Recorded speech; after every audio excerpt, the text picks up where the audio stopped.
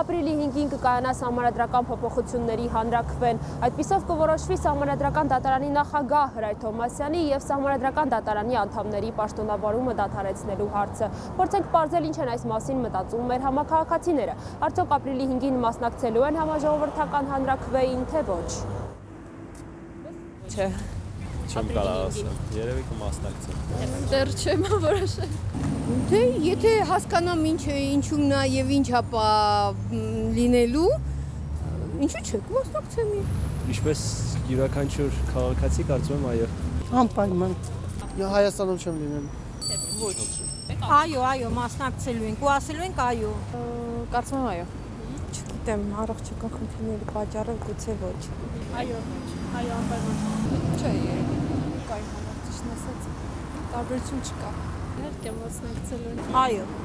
Այո։ Հավանաբար այո։ Անպայման, անպայման։ Կարծում այո։ Չէ։ Հաբավուց։ Չէ։ Այո։ Եվ որոշել եք ինչպես եք քվեարկել։ Ոչ։ Այո, մասնակցելու եմ, իհարկե, բարդատիր։ Անպայման։ Եվ ինչպես եք քվեարկել։ Այո։ Միայն այո։ Այո, Եվ կողմ եք քվեարկելու թե դեմ հրեշեք։ դեռ մտածում եմ։ ես տեղ չեմ լինելու։ Ես ամսավերջը մեկնելու եմ։ Բայց ցանկություն ունեք մասնակցելու ամեն։ Եթե այստեղ լինեիք կմասնակցեիք։ Հա, կմասնակցեի։ Եվ կողմը կքննարկեի։